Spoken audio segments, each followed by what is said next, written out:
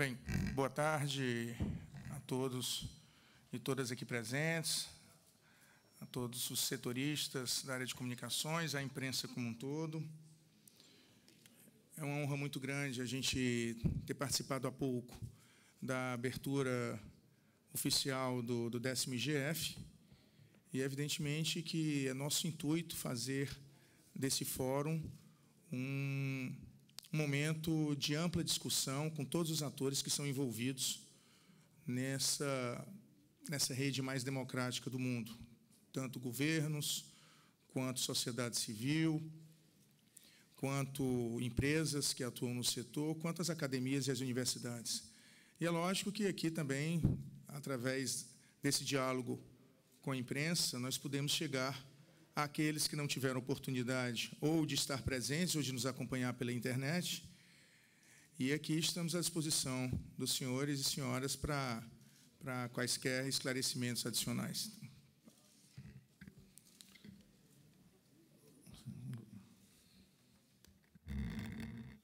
Apenas rápidas palavras no sentido de complementar algumas coisas que são importantes, não só para aqueles que fazem a imprensa local do nosso estado, mas também para aqueles que são de outros estados ou de outros, de outros países. Para o estado da Paraíba, um evento como esse é fundamental por dois aspectos. Um deles é natural nós estamos iniciando uma caminhada que eu chamo de profissionalização é, do turismo. Esse equipamento aqui que nós estamos nele faz parte dessa caminhada. Outros equipamentos e outros investimentos também. Esse evento, ele oficialmente, profissionalmente, ele traz cerca de 25 milhões de investimentos diretos para o nosso Estado. Os indiretos e os futuros são imensuráveis nesse momento. É? Então, é, é, a vinda do IGF para nós foi, de, foi algo muito importante. O segundo aspecto é a qualidade do evento. A qualidade do evento. Nós sediamos aqui em 2014 as Olimpíadas Mundiais de Robótica, a Robocup, que foi realizada em João Pessoa, foi a primeira vez que ela foi realizada na América Latina e nós conseguimos captar esse evento. É um evento bastante conhecido na área da tecnologia e compatível com aquilo que o governo do Estado já estava buscando fazer na sua própria rede de ensino. É, isso nos abriu portas importantes. Antes já tínhamos sediado duas edições, ou tínhamos realizado duas edições da Conferência Brasil-Canadá em Tecnologia de Informação. Né? Essa conferência também construiu uma ponte bastante importante para o nosso Estado, até na área comercial, de comércio bilateral. Né? E hoje nós estamos com mais importante dos eventos, que catapulta o nosso Estado, que coloca o nosso Estado numa dimensão importante e que, e que agrega um valor inestimável numa discussão que é essencial para a humanidade, que é o quanto a humanidade precisa e pode avançar com a internet. Esse é um caminho que não vai ter mais retorno. Agora, ela só pode avançar se a gente conseguir, que essa foi a tônica, me parece, das três, das, de todas as falas que eu até agora escutei, se ela conseguir se democratizar e democratizar a sociedade. É fundamental isso. Esse é o grande esforço que todos nós é, esperamos fazer. É, eu, particularmente, como governador do Estado, como representante do Estado, fico muito feliz em ter aqui todas as representações e eu tenho certeza absoluta que esse evento, ele, ele do ponto de vista de estrutura, ele terá sido um antes e será um outro após é, o IGF João Pessoa, aqui na Paraíba.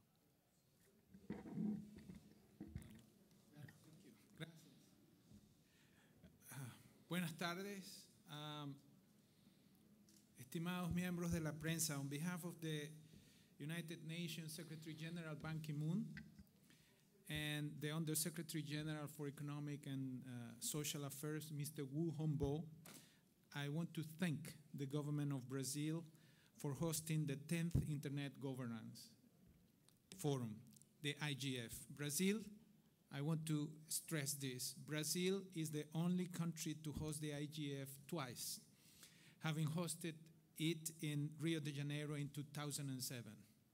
The United Nations, I want to stress this, is very grateful for Brazil's generosity and hospitality. I have to say that while I was watching the video inside the conference room, I was thinking myself, wow, this is a very well hidden secret. it's incredible. I, I'm really greatly impressed with the hospitality, the generosity, the organization of this conference. The, the, annual Internet Governance Forum is convened by the United Nations Secretary General in response to a mandate established by the World Summit of the Information Society. As the global multi stakeholder forum on public policy issues related to Internet governance, the IGF provides an impartial and independent global platform for dialogue and exchange of views and for sharing knowledge and best practices on policies relating to internet. The IGF has been seeking to and will continue to facilitate participation of all stakeholders from developing countries. Ultimately, the involvement of all stakeholders from developed as well as developing countries is necessary for the future development of the internet. This year's IGF, as you know, with the theme Evolution of Internet Governance, Empowering Sustainable Development, comes at a critical time with the recent adoption of the 2030 Agenda for Sustainable Development at the General Assembly of the United Nations. The 2030 Agenda highlights the great potential of information and communication technologies to accelerate human progress, to bridge digital divide, and to develop knowledge societies with specific references, including those on inclusive and equitable education, women's empowerment, infrastructure and access, as well as capacity building. An open, safe, and trustworthy internet will be integral in supporting the delivery of the Sustainable Development Goals. This week, the IGF Best Practices Forum, Dynamic Coalitions, and this year's policy options on connecting the next billion as well as over 100 thematic workshops, present immense opportunities for the IGF community to address all these important issues. Let me reiterate here to the governor of Paraíba and to the Minister of um, Communications the most sincere appreciation of the United Nations for the effort of the government of Brazil in hosting this forum. We are confident that this IGF will reach new heights of global discussions on internet governance. Thank you. Uh, thank you, Lene. Uh, então, vamos abrir para perguntas. Uh, lhe peço que se identifiquem de qual veículo para qual veículo trabalhem e que sejam breves e objetivos nas perguntas. Alguém? Não. É. So there is, there is um, Microfone? Micrófono? Não. is there a,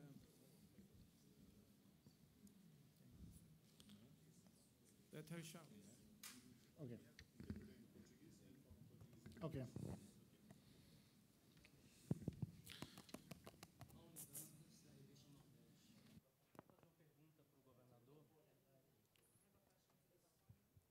Paulo Dantas, da revista Nordeste. Em tempo de crise, né, nós estamos vendo uma crise no, no, no Estado, uma crise no, crise no país, uma crise no mundo. Né, em que, efetivamente, um, um evento como esse pode ajudar economicamente o Estado ou o Brasil? to the state and to the country. Eu creio que das mais diversas formas, abrindo portas. Eu só compreendo saídas para a crise com inventividade, com ousadia. Eu acho.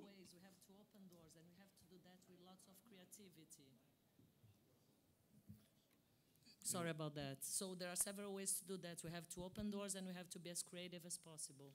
Eu acho que tem muita coisa antiga pelo mundo sendo utilizada pelo, como nova para se sair de crises. As crises são as mesmas. E as soluções que estão sendo propostas têm penalizado profundamente os setores médio e os baixos de todas as sociedades.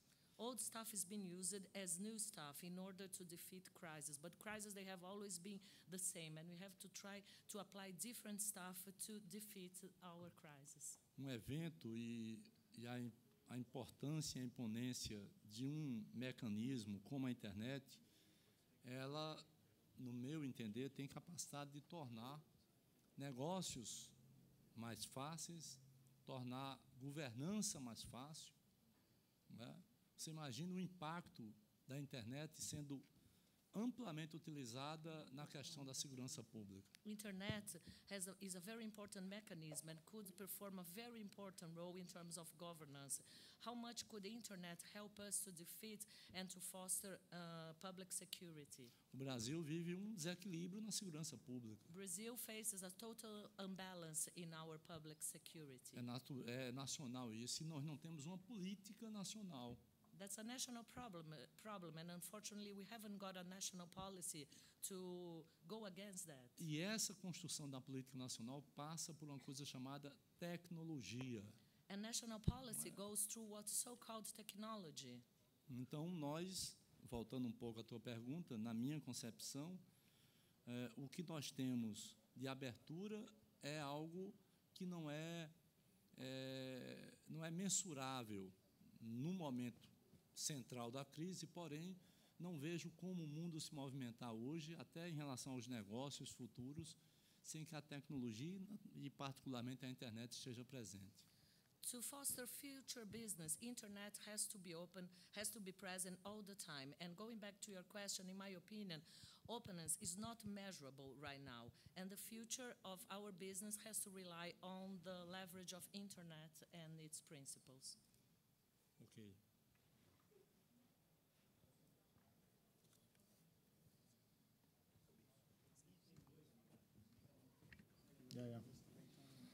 Ok. Meu nome é Bruno do Amaral, sou da Teletime. Queria fazer uma pergunta para o ministro. My name Eh. is Bruno Amaral. I have a question to the minister. A presidenta Dilma falou agora de novo, ela reforçou sobre ah, a importância de promover o, o acesso, o debate multi-stakeholder, multi-stakeholder, mas também falou de novo sobre o programa Banda Larga para Todos, que ainda continua esperando, ah, precisa de um, um orçamento grande e tal. Queria saber como é que anda, o que, é que o Ministério está fazendo, o que, é que o governo está fazendo para poder, enfim, tirar isso do papel. Our president has our president has just mentioned and gave emphasis to the importance of the multi-stakeholder approach and also she emphasized the need to allocate broadband to everyone. How can you from the ministry side help us to support such an endeavor? Quando a presidenta me fez o convite para assumir o Ministério das Comunicações há pouco mais de um mês, ela colocou, evidentemente, que o Ministério é um ministério extremamente estratégico a nível nacional e que tem algumas prioridades. Dentre elas, e a principal, no ponto de vista dela, promover a universalização da banda larga para todos efetivamente e nos colocou essa missão de cumprir. Ela vai. Well, we have a mission ahead of us, which is to promise what has to deliver what has been promised, which is the universalization of the broadband. And we have at the communication ministry uh, several priorities, and, in, and indeed, this is one of our main priorities, and is part of our strategic plan at the communication ministry. Então, nós estamos aí com alguns projetos que envolvem, a, digamos, a, a universalização para que nós tenhamos aproximadamente entre 90% e 95% da população brasileira recebendo banda larga até 2018. Our Is- goal is to have 90 to 95% of the total Brazilian population getting access to the broadband. Isso representaria uma cobertura aproximadamente de 70 municípios do nosso país recebendo fibra ótica através dos backhauls. That represents a coverage of 70% of uh, our municipalities having the total coverage of uh, broadband throughout optical fibers.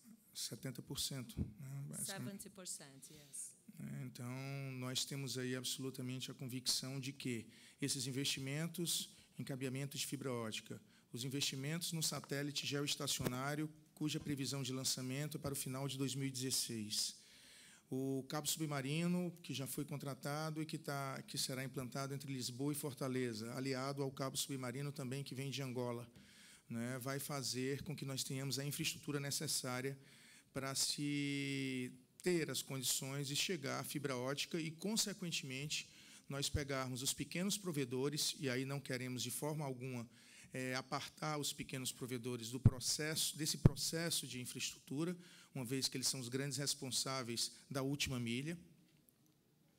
Well, let's, let's make sure that uh, including the small providers, they will be included as part of this approach. Infrastructure to reach the whole cable throughout the fiber optic, this is one of our goals, as well as the geographic location that will be leveraged by 2016, as well as the submarine cable that uh, links Lisbon to Fortaleza and the other cable that goes through Angola.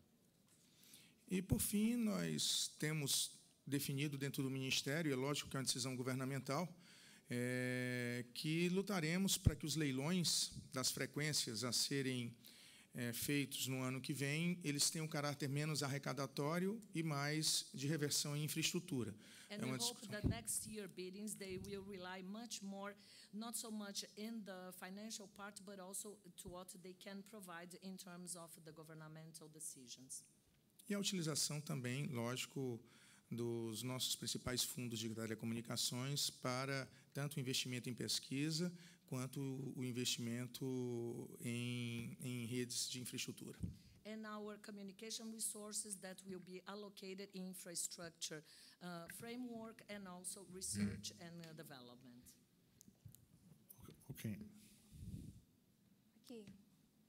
Boa tarde. É, eu me chamo Lana Oliveira, sou repórter da Rádio Tabajara, I am a journalist from Tabajara local radio station. da State Government Radio, da, repórter da Rádio do Governo do Estado. Yeah, that's a state government radio. É, de- é, a minha pergunta é sobre segurança para o Lene.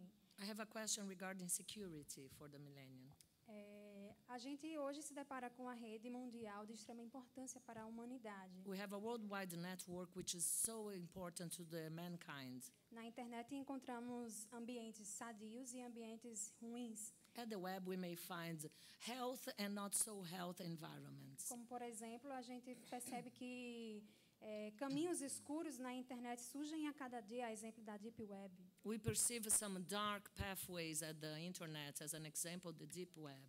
De que forma a ONU eh, pode debater eh, essas discussões eh, em que aprimoram a segurança na internet? How can the UN help us to foster this discussion which will enhance security at the web?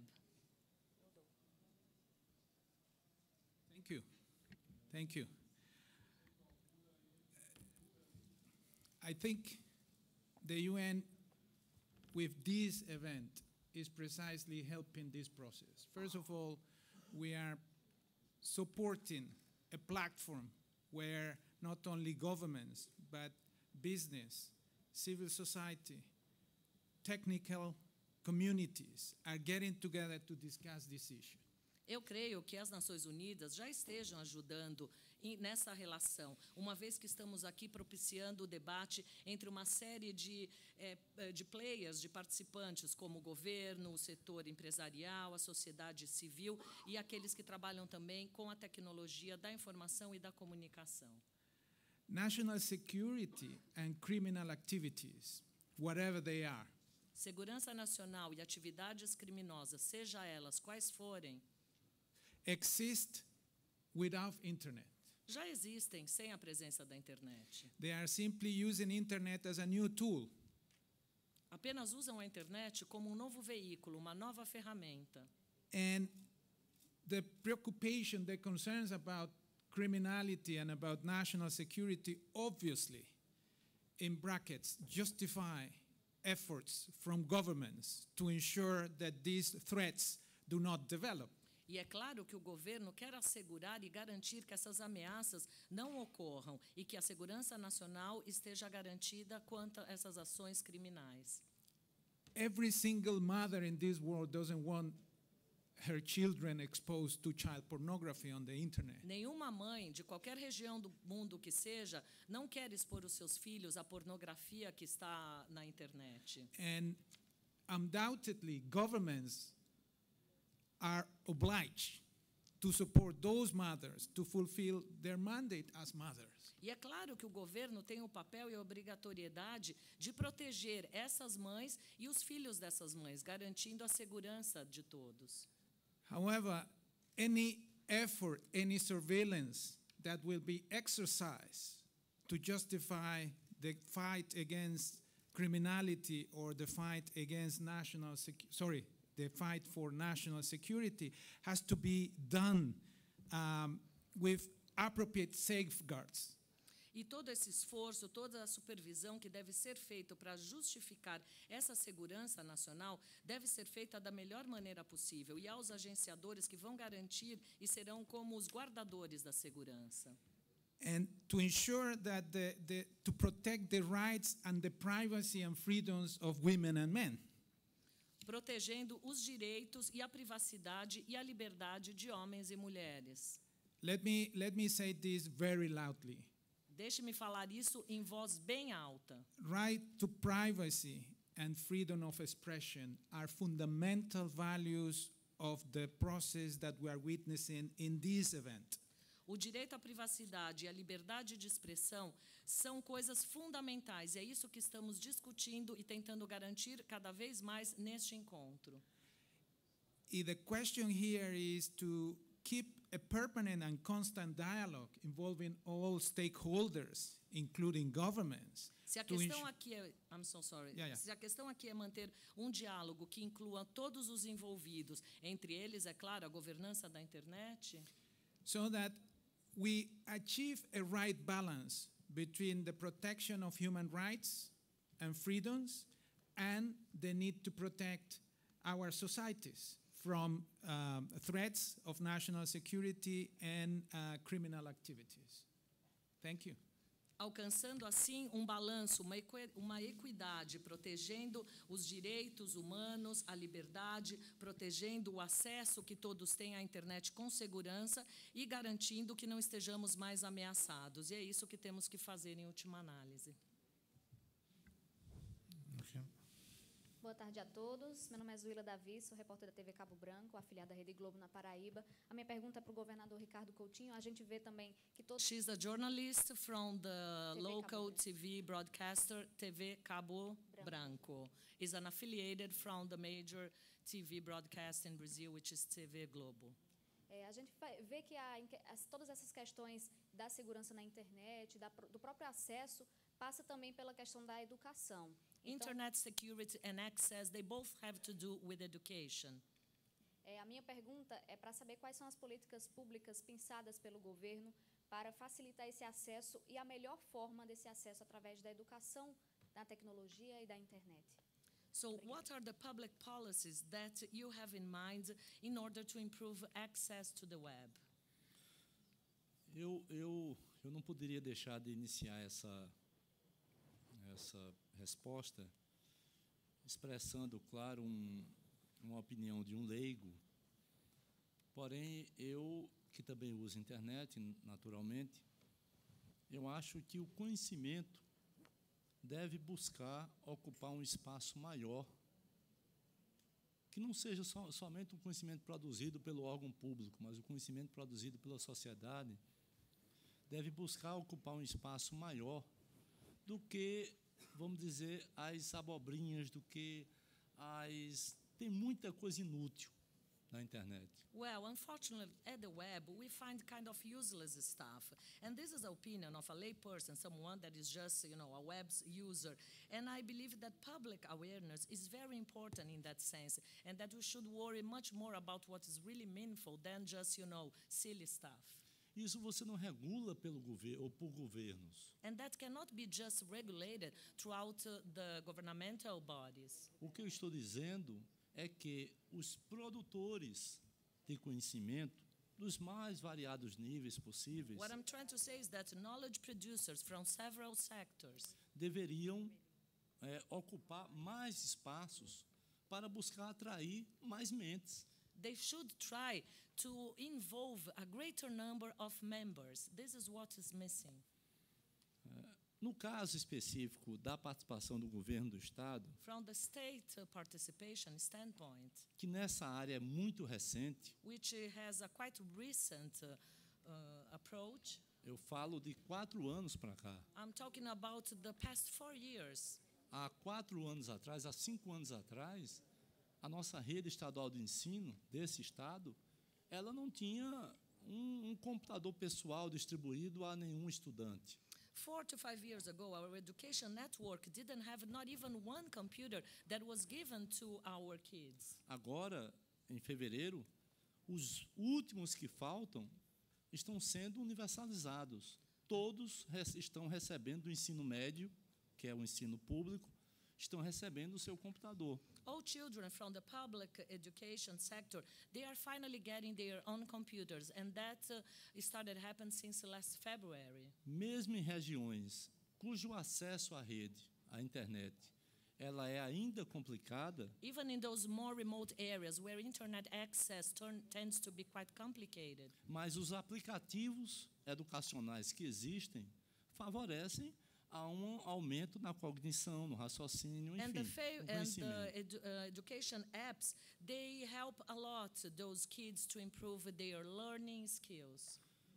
Bu- buscamos, hoje, você já tem das 325 escolas de ensino médio, Today, out of those 325 schools under elementary level, você já tem mais de 250 com ensino de robótica.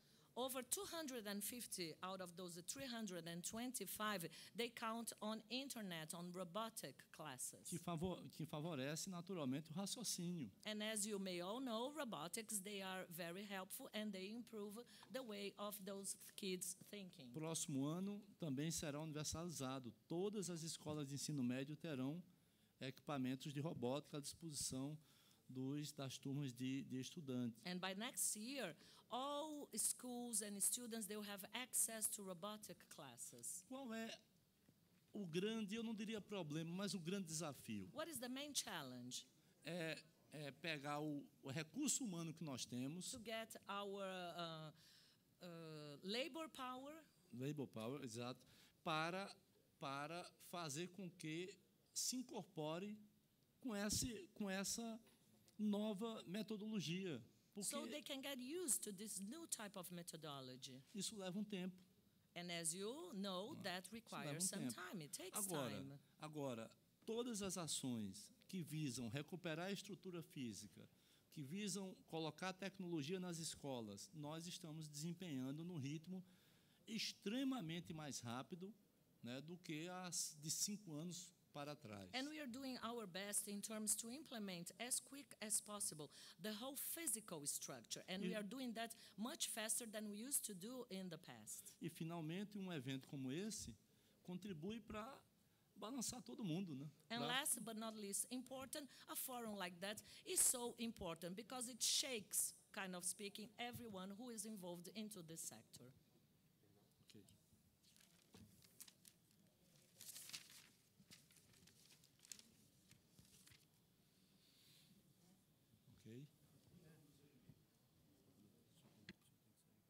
Bom, então essa é a última pergunta. Depo- você, por favor, É. se apresenta. A minha pergunta vai ser para o ministro das Comunicações, o senhor André. Eu sou Felipe Fernando, repórter do jornal União, do governo do estado. He's a journalist from the newspaper from the state side. And this is our last question. É, o Brasil tem uma das internets mais caras do mundo em proporção à velocidade ofertada, né? Brazil has one of the most expensive internet in the world in face of what is delivered. É, isso é um empecilho para um maior alcance da internet no, no Brasil. And that's an obstacle to a much greater reach of the internet throughout the country. uma vez que as classes mais baixas não poderiam pagar por ela, ou se podem, pagam por uma internet de uma qualidade menor. Once the less privileged strata, they are not able to afford that, and when they can, they have to get a really weak uh, internet access. O que o governo pode fazer para mudar isso? What can you, from the government side, do in order to improve such a scenario? Agora deu certo. Bem, essa é uma das preocupações que nós temos. Nós sabemos que temos algumas alternativas que precisam ser é, materializadas em um curtíssimo espaço de tempo.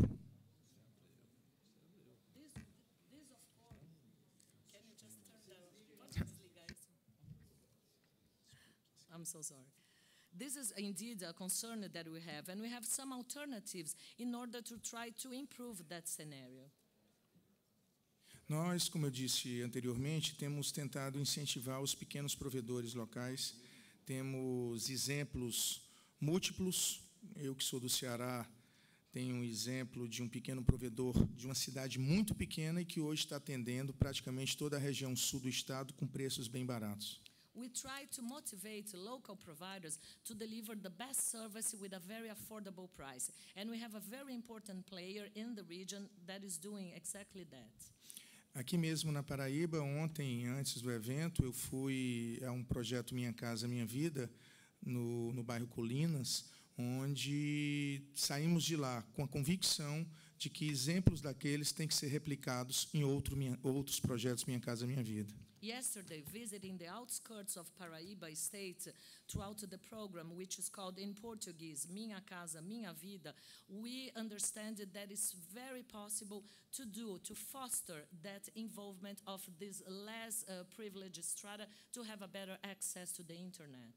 Porque dentro desses projetos que atingem hoje a camada mais vulnerável da população brasileira que está tendo direito a uma moradia decente, você agregar banda larga, onde já se agrega energia, água e outros benefícios para o cidadão, não se torna um investimento tão caro para o benefício que ele traz.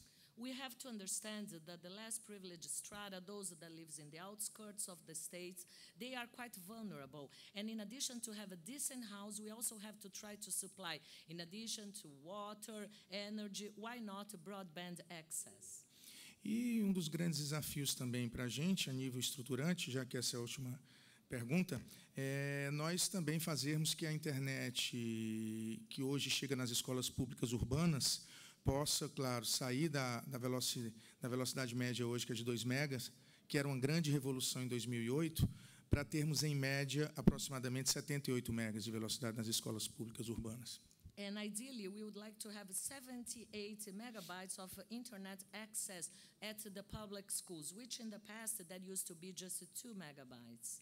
E, por fim, também, claro, temos toda a preocupação de atingirmos as escolas públicas rurais que ainda não têm internet. A nossa meta estipulada é, também no diálogo com a presidenta Dilma é que consigamos atingir até 2018 pelo menos 50% dessas escolas públicas rurais.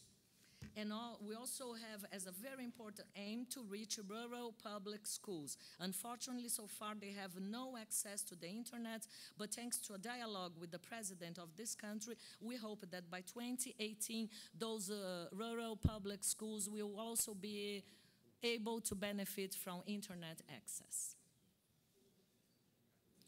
Ok, muito obrigado a todas e todos por essa coletiva. Muito obrigado ao Ministro das Comunicações, André Figueiredo, ao Governador da Paraíba, Ricardo Coutinho, e ao Subsecretário-Geral da ONU para Assuntos Econômicos e Sociais, Lenny Montiel.